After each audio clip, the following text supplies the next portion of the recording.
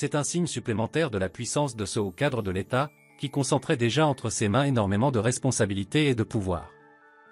Mardi 19 mars, Boilem Boilem a officiellement pris ses fonctions de président du Comité national supérieur chargé de statuer sur les recours des investisseurs s'estimant lésés dans le cadre de l'application des dispositions de la loi relative à l'investissement dont la décision est exécutoire, sans appel, dans un délai de 8 jours à compter de la date de son prononcé.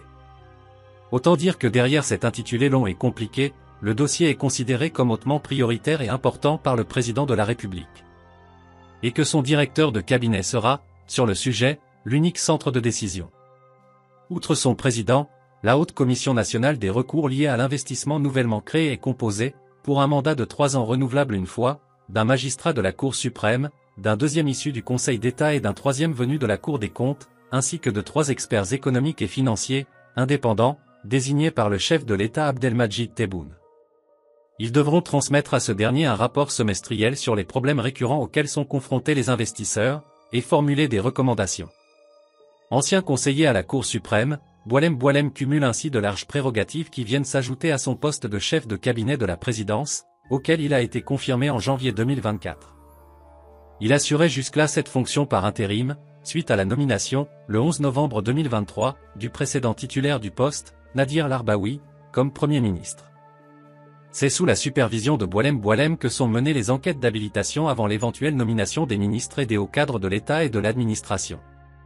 Une sorte de profilage permettant de tout savoir du candidat ou de la candidate à une autre fonction, cursus universitaire, statut marital, entourage, fréquentation, antécédents judiciaires, opinion politique, patrimoine, voyage à l'étranger, etc. Boilem Boilem se charge, en outre, de suivre l'activité de l'exécutif, d'analyser et d'élaborer des notes sur la situation politique, économique et sociale du pays, de livrer les éléments nécessaires à la prise de décision, d'assurer les relations avec les formations politiques et le mouvement associatif, d'évaluer les performances des services publics à la lumière des requêtes et des pétitions émises par des citoyens et par les associations dont il gère le traitement, de superviser les relations avec les médias étrangers et nationaux et de suivre le traitement et l'analyse des requêtes spéciales.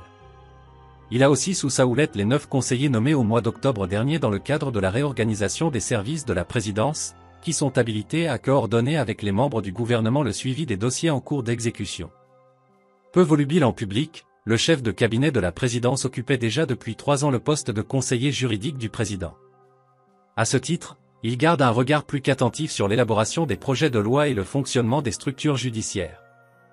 Avant d'accéder au palais d'El Mouradia, Boilem Boilem a longtemps piloté le centre d'écoute téléphonique, l'organe national de prévention et de lutte contre les infractions liées aux technologies de l'information et de la communication et les demandes d'entraide judiciaires étrangères.